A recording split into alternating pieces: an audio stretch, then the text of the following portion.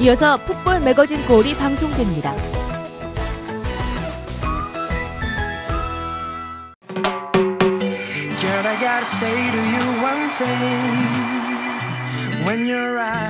또 여자 축구로 한다는 게 좀 그동안 외로웠었던 것 같아요.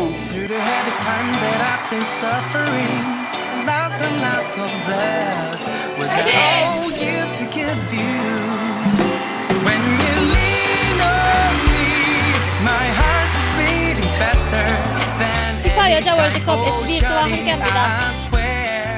이 중계 방송은 신한금융그룹 에이스 침대와 함께합니다.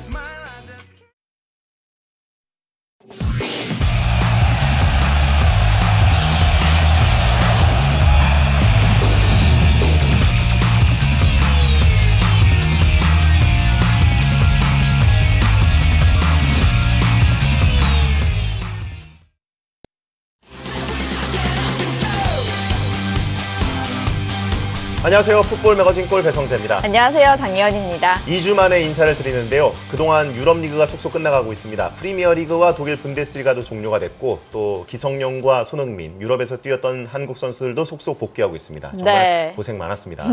군 훈련소에 가는 선수들도 있고 6월 A매치를 준비하는 선수들도 있는데요. 네. 요즘 날씨가 정말 덥잖아요. 건강 유의하시기 바라고 우리나라 K리그에서 뛰는 선수들도 다치지 않게 그리고 더위에 쓰러지지 않게 조심하시기 바랍니다. 그렇습니다. 이 폭염 이 이어지고 있습니다. 그 가운데 장예원 아나운서는 축구장이 아니라 야구장에 약간 외도를 떠나왔다 왔는데 잠실 야구장에 장현 아나운서가 오. 나타나서 네. 어, 두산 베어스 어, 시구라고. 배성재 아. 저도 있군요. 그렇습니다. 네. 아, 제가 사실 시구를 시켰어요. 남자친구예요. 들통났군요. 장현 아나운서가 어, 제가 가르친 어, 투구폼인데 잡힌 줄 몰랐어요, 배성재 아나운서가. 네, 오, 잘 어우, 던졌습니다. 포수가 일어나지 않고 엄청난. 각도로 떨어지네요. 그렇습니다.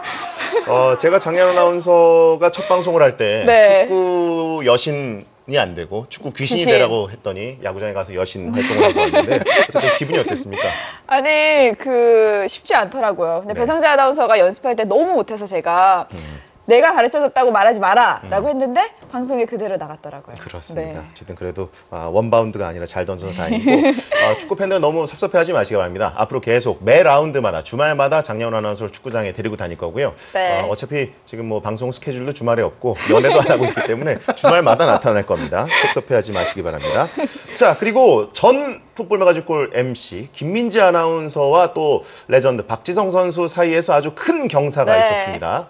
네, 자 만두죠. 만두죠. 네.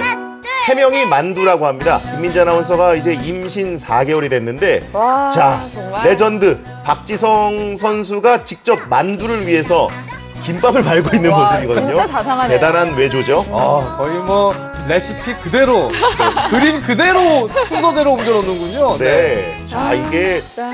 지느님표 김밥이라고 볼 수 있고요. 그 덕에 김민지 아나운서와 또 뱃속의 만두도 잘 커가고 있습니다. 아, 행복해 보이네요. 그렇습니다. 김민지 아나운서도 사실 과거에 별명이 만두였대요. 통통해서 볼이. 그렇죠. 네. 네. 근데 또 아이도 태명이 만두인데 잘 또 태어나길 기대해 보겠습니다. 자, 오늘 장지원 해설위원과 함께 하겠습니다. 안녕하세요. 네, 안녕하세요. 네. 자, 아, 지난 주말에 잉글랜드 프리미어리그 38라운드를 끝으로 이제 프리미어리그가 막을 내렸는데 네. 주한 첼시 대사로서 마지막 라운드 첼시의 우승 세레모니를 중계한 기분이 어땠습니까? 아, 뭐 솔직히 그냥 좋았죠. 네. 네. 뭐 미리 이제 우승이 확정이 되었었기 때문에 그냥 담담한 마음으로 지켜봤습니다. 네. 자, 아, 명예 주한 첼시 대사직 계속 유지해 주시고요. 자, 제가 이렇게 목이 조금 쉬어 있는 이유가 지난주부터 이번 주까지 아시아 챔피언스리그 16강을 4경기 연속으로 중계했기 때문입니다. 아, 결과가 참 좋기를 원했습니다만 네 팀 중에서 K리그 한 팀만 8강에 진출했습니다.